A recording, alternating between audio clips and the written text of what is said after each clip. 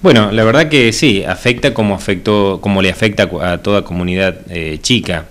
Nosotros con 900 habitantes, por ahí el, dinero anual que se recibe de este fondo sojero son alrededor de los 240 mil pesos. Eh, cuando nosotros asumimos en diciembre, ese dinero lo fuimos acumulando, no, no se gastó, eh, y hoy con algo de recursos propios más ese dinero que nos entró, de fondo sojero, bueno, lo pudimos guardar para comenzar y dar casi por finalizada la obra eh, de la construcción de nichos en el cementerio. O sea que, si bien es, una plata, es un volumen de plata muy chico del cual se recibe, que son 240 mil pesos por año, pero bueno, nosotros al no, al no usarlos pudimos por lo menos, vamos a concretar esta obra que arrancamos el mes que viene con con la construcción de, 48 nichos. El problema es el año próximo que ya no están más estos 240 mil pesos. El problema es el año que viene, sí, tal cual.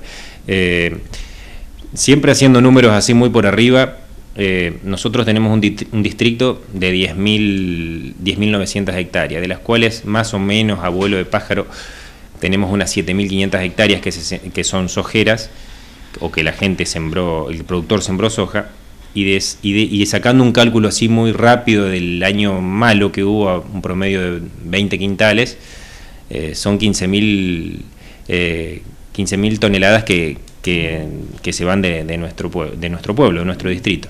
¿Esto significa en dinero cuánto? Cerca de los 12.000, eh, de los 120 millones de pesos, sí.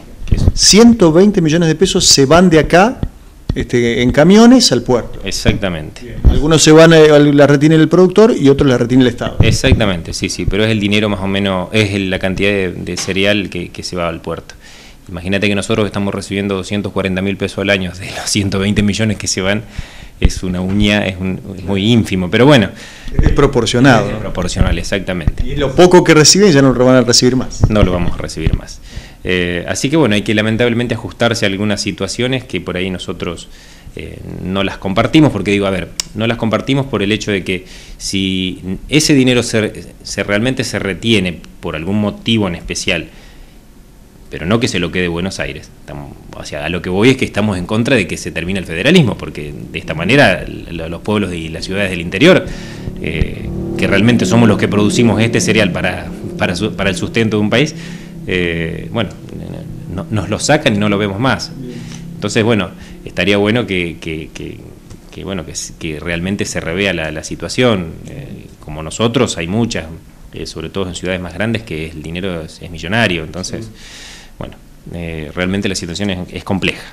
Se reunieron con el gobernador, muchos presidentes comunales, intendentes, tuvo la posibilidad de participar. Este, ¿qué, ¿Qué es lo que se ha dicho en base a eso? ¿Son este, optimistas en cuanto a que se revea la medida o ya la dan como perdida? Nosotros nos reunimos la semana pasada con eh, Pablo Farías, nos reunimos con Saglione y con, eh, estaba también Carlos Torres de municipios y comunas, eh, varias comunas del departamento y, de otras localidades también. En Santa Fe. Y bueno y nosotros los del espacio del Frente Progresista por ahí o sea se planteó la situación de que a ver si realmente se retiene ese dinero eh, que, se retiene, eh, que lo retenga Buenos Aires, eh, obviamente que uno está en contra, pero entonces exigimos desde un, de nuestro espacio también que se, si, si, ellos se guardan, si el Estado se guarda el dinero, que nosotros como, como, como provincia, que, se nos saque la, retención a la soja, porque es, es, lógico, es lógico, a ver, que vamos a zapatear todos, ¿entendés? Pero bueno, son decisiones de los pesos pesados de la provincia, no de nosotros, los, presidentes de comunas, que por ahí somos los que las, voces menos escuchadas en el, sentido de que somos los, los, menos por ahí. Eh, así que... Bien, con un poco de sinsabor esta medida. Sí, sí, sí, sí, sí, tal cual. la última, eh, ¿charló con la gente de campo? ¿La gente de campo este, ve con preocupación este tema o dice, bueno, a mí me lo están sacando? Este, si se lo queda este, el interior, se lo queda Buenos Aires, lo retiene el gobierno bueno, ya es una historia que a mí no me incumbe demasiado o, manifiestan también la preocupación porque no se recibe algo de lo que tantos, eh, eh, tantos ellos producen y tanto dan. Claro, no, no, es que existe la preocupación por esto mismo, porque, o sea, lo que nosotros recibimos es tan chico, es tan chico de todo lo que se llevan, que por eso digo, existe esta, preocupación. Eh, que, en, números tendríamos que recibir muchísimo más. Estamos, Distrito Heller simplemente son 7.500, 8.000 hectáreas que se siembran de soja solamente. Entonces estamos a años luz de lo que, de lo que recibimos. Pero bueno, vuelvo a lo mismo, tenemos que lamentablemente agachar y no sé, esperemos que, de, tener una pronta solución.